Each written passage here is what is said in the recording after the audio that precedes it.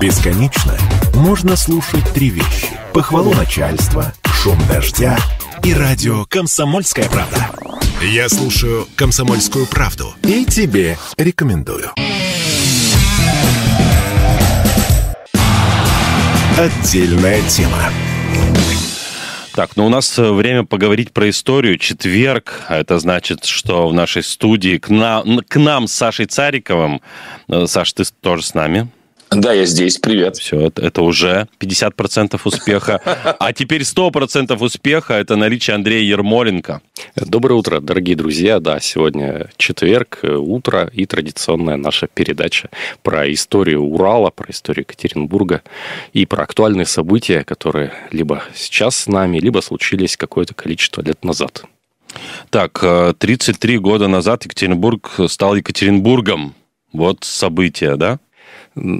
Да, немножко поправлю. 4 сентября было принято решение депутатами городской думы о переименовании Свердловска в Екатеринбург 4 сентября 1991 года. Ну, при всем уважении к екатеринбургским депутатам это решение не было бы правомочным без решения Верховного Совета то есть высшего э, органа власти в государстве, в тот момент РСФСР, Российской Советской Федеративной Соцреспублики, и 23 сентября 1991 года решение Екатерин... Свердловских тогда еще депутатов городской думы было э, принято, утверждено Верховным Советом государства, и город Свердловск был переименован в Екатеринбург. Обратно. А сто лет назад Екатеринбург в Свердловск. Да, вот в этом году действительно юбилей. В ноябре 1924 года город Екатеринбург, носивший это имя 201 год, был переименован в Свердловск, одним из первых в молодой Советской Республике.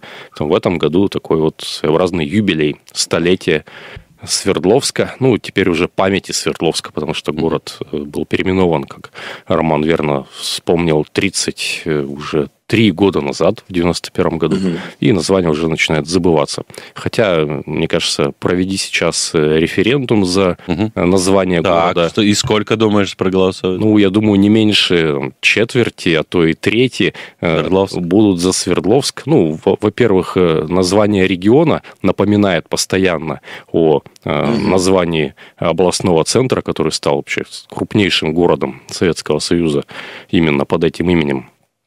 Ну и более старшее население, думаю, проголосует активнее. Но, но стираются вот эти историческая фигура, и больше на первых в план ностальгия. Свердловск, опять же, слово лов там есть, может быть, как-то фонетически вот обыгрываться. Я утром, когда шел на эфир и думал, называли ли как-то Свердловск как-то вот сокращенно, уменьшительно, так полупризывательно, как Екатеринбург, е- Йобург, Екат, Катер, Катер и так далее. Вот для Свердловска даже сложно было придумать название какое-то вот такое уничижительное. Даже давайте попробуем пофантазировать. Давайте, или Саша, ты зрители в эфир позвонят. Свердловск. Ну, ну, ну, я слышал версию Сверло. Сверло? Сверло. Сверло, ну просто сверло. Да, да, да. Вот э, откидывается вот вторая часть и остается вот это сверло. Да, не учитывая, что, конечно, пишется немножко по-другу, но да, сверло, сверло, сверло. Вот я разговор как-то слышал. Понятно, ну да, значит. А по поводу, кстати, э, по, по, по поводу, кстати, Ловска, э, в одних из первых фестивалей уличного искусства, тогда это были длинные истории, как раз взяли за основу латинскими буквами написания города Свердловск – и лав подчеркнули особенно, mm-hmm. то есть красными буквами с сердечком. Вот как сейчас помню, надпись эта была тут недалеко от нас. Э, на, на филармонии, у филармонии. Напротив филармонии. Мы все да, помним конечно, эту надпись. Ну, да. вот это лов. Какое славное название. Это как на Шаумяна сейчас э, застройщики же осваивают активно цыганские поселки. Там есть дом такой уже разрушенный, его, скорее всего, снесут, но на нем написано «Мне снова снился дом». Вот такая э, ностальгическая oh. надпись, и я всегда, вот у меня слеза прям, я смотрю на этот разрушенный дом, и скоро там будет новостроечка. Также, может, со Свердловском. Вот мне снова снился Свердловск. Да, если вы не бывали в Свердловске, приезжайте к нам в гости, мы ждем и так далее. Ну, да, давайте еще в более глубокое прошлое э, вернемся, более чем в 300 лет назад, и вспомним про э, женщину, именем которой был назван наш город, э, когда он еще не был городом, а стал только заводом-крепостью в 1723 году. Именно, кстати, апелляции к э, характеру этой женщины, к ее биографии-то и стали э, главной такой движущей силой для Екатеринбургцев. Про Екатерину неоднозначной биографии, мягко скажем, Биография действительно непростая. Невероятной биографии, и, просто и, сногсшибать. Да, и чтобы не погружаться даже в современную публицистику, которой ваш покорный слуга тоже приложил руку, советую обратиться к первоисточнику воспоминания Франца Вильбуа, сподвижника Петра I, француза на русской службе в конце 17-го, начале 18 века, одного из первых сподвижников Петра I, Франц Вильбуа «Записки о русском дворе». Это его дневниковые записи, которые были опубликованы э, позднее в 18 веке и содержат подробности о биографии э, Марты Скавронской, которая волею судеб, это прям, знаете, ожившая сказка про Золушку, э, стала Абсолютно. русской императрицей. Это, конечно, невероятная история, как... То есть это, наверное, самый вообще пик, вообще, который возможен чуть ли не в мире, да? Это социаль... Она... социальный лифт невероятный. Вот заняла пост вот просто. Подобный социальный лифт был в русской истории, наверное, только один раз, когда э, Григорий Отрепьев э, провозгласил себя чудесно спасшимся сыном Ивана Грозного. Угу. Лжедмитрий. Лжедмитрий. Самый Лжедмитрий, когда простолюдин занял Трон. Э, место российского... Ну, там ненадолго он занял. Ну, меньше, чем на год, да. Екатерина-то подольше. кончила. Екатерина чуть подольше, на два года она была императрицей ну, находилась у власти в качестве жены царя, затем императора, ну, очень долго, не меньше 20 лет. О. Умерла рано, а то могла бы еще и проправить, наверное, по-моему, 47 лет всего. Ну, а там, там же году. она пыталась э, продолжить и своих ставленников поставить, но не получилось. Ну, у нее, наверное, и ставленников-то особо не было. Это скорее она была ставленницей Александра Меньшикова, который был самым явным таким представителем тех самых птенцов гнезда Петрова, который против старой там московской еще Э, боярской знати э, конфликтовал. Ну, не суть, в общем, про политические э, конфликты в Российской империи в начале 18 века это отдельная тема. Мы про биографию Марты, которая была сиротой, ее приютил пастор немецкого, так, восточно-прусского города Мариенбурга, найдя ее в Э, другом соседнем городе, где жители почти все умерли от чумы, и она там одна из немногих, вообще маленькая девочка выжила. Пастор Глюк взял ее в свою семью. И непонятно вообще, из какой она семьи, насколько... Родители ее неизвестно. Вообще проста была, может, это... Ну, скорее всего, из простой семьи, потому Абсолютно что... Просто. Потому что про родителей ничего совершенно неизвестно. Обычные немецкие там, крестьяне, бюргеры. В общем, неизвестная подробности биографии ничуть. И пастор Глюк, когда, находясь в этом городе Мариенбурге, павшем уже под ударами русской армии генерал-фельдмаршала Шереметьева, явился к этому самому фельдмаршалу Шереметьеву на поклон, как один из лучших людей города вместе со своей семьей, а девочку, эту Марту, он усыновил, ну, точнее, там на положении прислуги у него находилась, ну, вместе с его дочерьми же и сыновьями жила в семье. И Шереметьеву уже уже пожилому человеку Марта приглянулась. Угу. Он ее взял к себе в служанки. По воспоминаниям Франца Вильбуа, и опять к источнику, э, э, Франц Вильбуа вспоминает, что Шереметьев э, получал от нее различные удовольствия, прямо цитирую. А затем, когда войско Шереметьева Э, сменила э, войско уже Александра а потом Меньшикова. к Меньшикову, да, а, э, следующий более, этап более молодому, на повышение. более молодому деятелю, сподвижнику Петра, а затем ее сам Петр, а потом Петр заметил, заметил у Меньшикова. И Марта, которая была уже в начале 18 века крещена в православие под именем Екатерины Алексеевны Михайловой, Петру очень сильно понравилось. Он как раз находился тогда в сложный момент отношений с своими женщинами. Его первая жена Евдокия Лабу Пухина была уже удалена в монастырь, а его а, многолетняя фаворитка Анна Монс а, уже начала от него отдаляться, точнее, он ее начал отдалять, потому что она слишком уже заигралась там с его легкими деньгами, одаривала своих родственников. В общем, постоянной женщины у него тогда не было, и, и э, новокрещенная Екатерина Алексеевна э, стала его э, лучшей подругой, а затем и женой, а затем, когда сам Петр был провозглашен императором, одновременно с ним была провозглашена и императрица Ларисы, его супруга. Но когда он умер, не оставив завещания, напомню, э, первым гвардейским переворотом в XVIII веке, в веке переворотов к власти, была приведена его супруга. Причем силой э, его, ее предыдущего любовника Александра Меньшикова. Ну, в общем, к чему я это все так длинно говорю? А там Санта-Барбара. В Екатеринбургских Боже. газетах 1924 года об этом очень много писали, и это все воплощалось там в таких лозунгах «Негоже э, нашему рабочему городу носить имя какой-то распутной девки». Uh-huh. Э, и вопросы о переименовании Екатеринбурга в 24 году звучали э, именно вот под этими лозунгами в первую очередь, но название Свердловск тогда не звучало, э, звучали разные такие креативные имена, Реваншбург, Красноуральск, ну, реванш, потому ну, что пролетарии взяли реванш, убив царя в Екатеринбурге ну, как я очень mm. утрированно об этом говорю, и, и другие не, не менее креативные. Красноуральск, Красный Урал и так далее. Урал. Угу. Кстати, вопрос переименования Екатеринбурга э, был темой э, совершенно такой понятной и находившейся в, в контексте общественных дискуссий в начале 20 века еще и в связи с Первой мировой войной.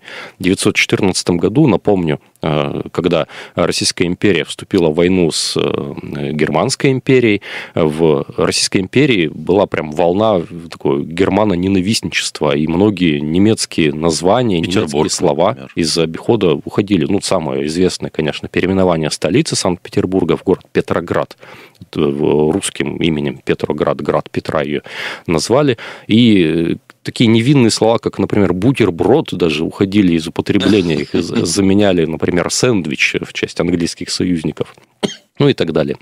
Э, были немецкие погромы в Петербурге, в первую очередь, в Петрограде, в, ну и город Екатеринбург, как город, носящий тоже немецкую, немецкую частицу Бург, э, также обсуждался к переименованию. Звучали тогда очень креативные э, варианты, связанные с историей Урала, такие как Татищевск, например, или Исецк, или Исседонск. Мне вот очень запомнилось название. Исседоны – это такой полумифический народ, который, по мнению древнегреческого историка Гера... Геродота, заселял Рифейские горы. Рифейск еще, кстати, да, вариант звучал в прессе 1914 года.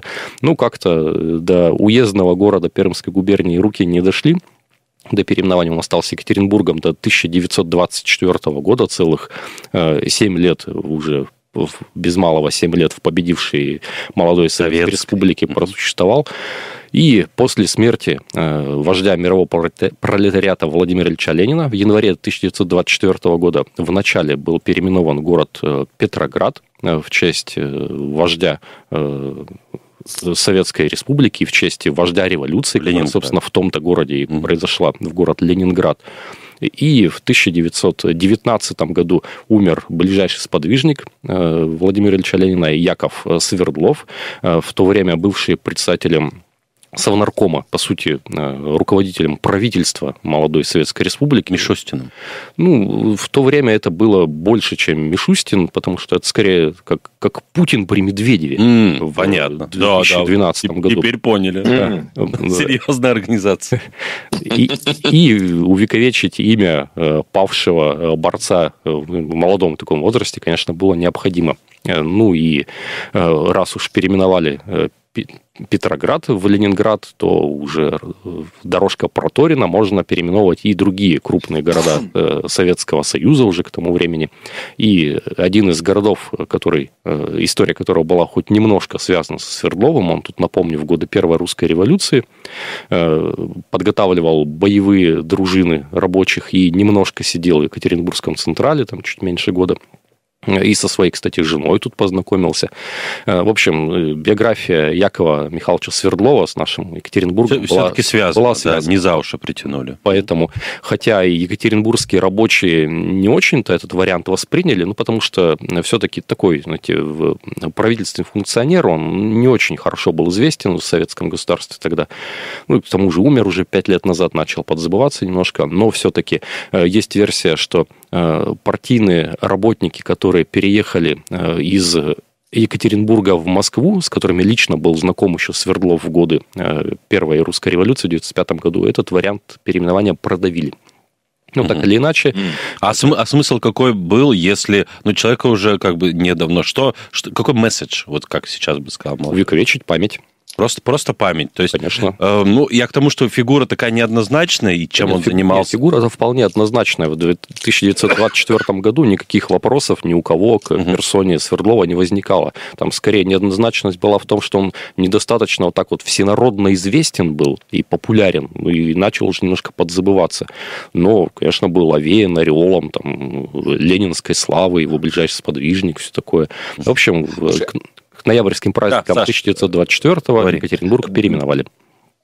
Да, слушай, Андрей, а там ведь какая-то очень интересная история со смертью сам, самого Свердлова была, которая тоже имеет несколько трактовок. Одна официальная и связана с испанкой, э, которая бушевала тогда по всему миру, но особенно в Европе. А другая с тем, что, в общем, его с кем-то перепутали и просто на вокзале буквально-таки отколотили. Вот там ведь тоже что-то не очень просто с его финалом. Да, на самом деле обе версии его смерти либо гибели связаны с испанкой. Он действительно возвращался в 919 году из поездки по южным губерниям, а, которые гораздо сильнее были тогда охвачены пандемией испанки. Мы сейчас начали уже подзабывать это слово «пандемия», э, но это было очень В 20-х годах там же. Это было очень похоже на пандемию новой коронавирусной инфекции, COVID-19, и э, ну, практически весь мир был э, заражен вот, этой, вот этим атипичным гриппом. В Российской империи в меньшей степени, потому что она чуть раньше вышла из мировой войны, а основным рассадником заболевания стали солдаты, возвращавшиеся с фронтов Первой мировой. Но южные губернии, которые находились еще недавно под оккупацией, этим были сильно затронуты. Так вот, Свердлов, возвращаясь из поездки в Южной губернии, уже точно не помню куда, ну куда-то на территорию э, современной Украины он ездил. И в поезде, который шел в Москву, в по второй из версий он в городе Орле вышел погулять на перрон, а, и его э, местные жители обвинили в нарушении э, противоэпидемических правил. Типа ты вот едешь из зараженной территории, что ты тут разгуливаешь, марш в вагон обратно.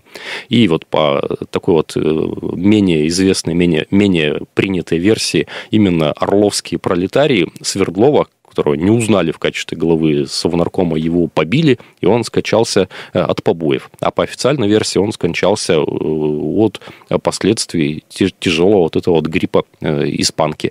И, кстати, зафиксировано достоверно, что Владимир Ленин, несмотря на многочисленные увещевания его сторонников, к умирающему Свердлову приходил и с ним перед его смертью общался, прощаясь. Не побоялся заразиться mm. тогда. Ну, вот две ну, версии смелый гибели. Вождь. О, смелый вождь. Да, Владимир Ильич, конечно, был голова, что называется. Ленинбург, кстати, тоже был. был ну, был уже да. Ленинград, поэтому как-то чудно. Поэтому и варианты Красно тоже отмели. Красный Урал. Вот. Куча разных вариантов уже переименований в слово Красного. Там Екатеринодар в Краснодар уже переименовали. Э, э, Царево Кокшайск, нынешнюю Йошкар-Олу, переименовали в Красно-Кокшайск уже тогда. Э, Нижнеудинск переименовали в Ула Улан-Удэ, то есть Красный Удинск и, и так далее. Урала, Свердловск, вот еще. Ну, это, видимо, вариант примеряющий такие варианты. Урала, Свердлова. Свердлова с Красным. Ну, так или иначе, к ноябрьским праздникам 1924 года, к семилетию Октябрьской революции, город Екатеринбург переименовали в Свердловск. А в в начале 1991 года, даже в 1990 уже, благодаря инициативам, которые роились вокруг э, Уральского музея молодежи, который возник еще в 80-е годы и стал таким вот прям проводником современных таких либеральных знаний про историю Советского Союза, историю России. Там много говорили про ГУЛАГ, про убийство царской семьи в Екатеринбурге. И вот именно вот на базе э, Уральского музея молодежи, который возник из музея Свердлова, кстати, сейчас на его базе действует музей истории Екатеринбурга Карла Липнихта, возникли э, инициативы, инициативная группа по переименованию Свердловска в Екатеринбург. И э, эта инициативная группа достигла э, комиссии э, по культуре городского совета народных депутатов администрации города Свердловска. И внутри вот этого уже городского совета эта идея родилась, переродилась, точнее, в решение 4 сентября 1991 года, ровно 33 года назад, прям вот, кстати, на волне последствий октябрьских событий 91 года. Это же путч, попытка там, консервации Советского Союза, которая была объявлена попыткой государственного переворота членами ГКЧП, Комитета по чрезвычайному в, положению. В августе 91 В августе 91 да, вот да. ровно вот прям через две недели августа. после этих событий э, депутаты Свердловского э, городского совета народных депутатов приняли внутри себя, внутри депутатов решение переименовать город Свердловск, город Екатеринбург. И решили, что референдум, о котором много говорили в 91 году, то есть э, всенародным решением э, переименовать город э, Свердловск Екатеринбург, этого референдума не случилось. Хотя, я думаю, если бы он случился тогда, в сентябре 91 то больше 50% проголосовали бы за Ну, тогда не было, наверное, других вариантов. Все равно бы переименовали. Ну, почему? Вариант оставить Свердловск был бы. Ну, а где-то в России... Ну, то есть, если Ленинград, если переименовали, то есть, такие крупные города, мне кажется, не было шансов. Куйбышев в Самару, Горький в Нижний Новгород. Все-таки Свердлов, учитывая фигуру Свердлова, вариантов не было остаться. Ну, вариант, э, я думаю, все-таки был бы, и, и это бы еще породило такой э, общественный раскол очень серьезный. Поэтому депутаты, наверное, предполагая и такой вариант развития событий, решили не обострять, что называется, и приняли это решение внутри своей группы депутатов э, по инициативе Комитета по культуре, который возглавлял, кстати, бывший дизайнер Суралмаш-завода этот комитет по культуре, он в своих воспоминаниях об этом очень много пишет. Э, Демидов, забыл имя, фамилия Демидов.